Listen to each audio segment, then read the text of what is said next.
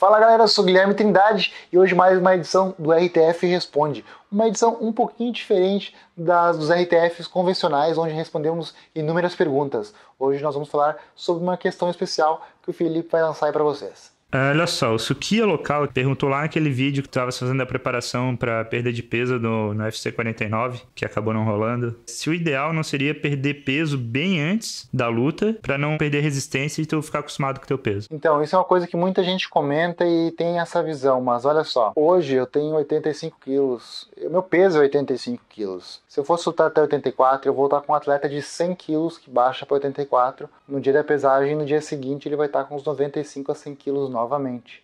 Assim como eu peso 70 quilos um dia antes, no dia da pesagem, no dia da luta eu já estou com 80 quilos de volta, 78, 80 quilos. Se eu ficasse realmente no meu peso, eu vou ter uma perda da força muito grande, perda da massa muscular e primeiro e segundo que eu não vou conseguir manter o ritmo de treino, porque não é para o meu peso isso. Meu corpo é 80, 85 quilos, não adianta.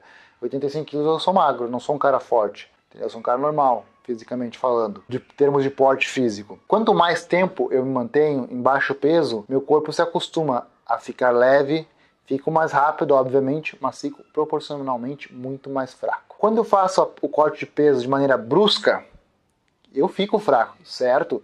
Mas jamais fraco como se eu tivesse os, os, os 10 quilos a menos. A fraqueza que eu sinto na questão alimentar não se equipara à perda da força que eu não tenho em relação ao corte de peso. 85 quilos cortei para 70. Até que meu corpo perca a força proporcional a 75 quilos, eu já recuperei meu peso, já passou o dia da luta. Então eu faço o corte de maneira mais brusca possível, a, tempo de meu corpo não sentir tanto impacto dessa perda de peso. Se eu pegar e perder dois meses antes e ficar com 70 quilos, pô, 70 quilos me interna, que eu vou estar anêmico, vou estar com anemia, vou estar subdesnutrido aí. Então não tem como. Realmente a gente faz o bate e volta só no peso. Então você pode ver que todos os lutadores fazem isso. Não tem um lutador de MMA hoje que lute no seu peso. Quem tinha até mais próximo, assim, um lutador conhecido era o Frank Edgar, que tinha 74 quilos e estava na 70. Praticamente não baixava peso. Mas hoje está lutando na 66, de 74 quilos, lutando na 66. E ainda baixa pouco. Tem lutadores que baixam muito mais de 20 quilos. Um lutador que baixa 30 quilos no dia da pesagem, baixa 10, 15 quilos. Então varia muito assim, entende?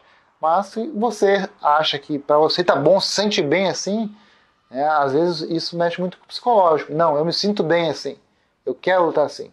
Daí beleza, daí é diferente. Você tem que fazer realmente o que se sente bem acima de tudo. Se sinta bem, confiante e realmente com a cabeça pronta para lutar. E lembre-se, não vale a pena você fazer isso para tentar fazer uma luta amadora, alguma coisa. Que é absurdo. Primeiro que as lutas amadoras, 95% a pesagem é no mesmo dia da luta. Então não tem como você recuperar e ficar bem para lutar no mesmo dia, baixar peso e lutar no mesmo dia. Então não vale a pena. Deixe isso para carreira profissional, quando você tiver um pouco mais de instrução. Deixe o ônus profissional para atletas profissionais, porque como eu digo, tudo tem um ônus e um bônus. Assim como você faz isso, isso cobra um preço do seu corpo. Isso exige um pouco de você. Então não, não, não bote sua saúde em, em risco à toa, a não ser que você realmente seja um atleta profissional e queira seguir a carreira no esporte. Quando a gente fala de esporte, uma carreira profissional no esporte, quando a gente visa competição, a gente não visa saúde, a gente visa desempenho físico. Agora, quando você treina nessa academia, uh, três, quatro, cinco vezes por semana até, você vai de noite, depois do seu trabalho, vai lá, faz seu treininho de musculação, faz seu treininho de luta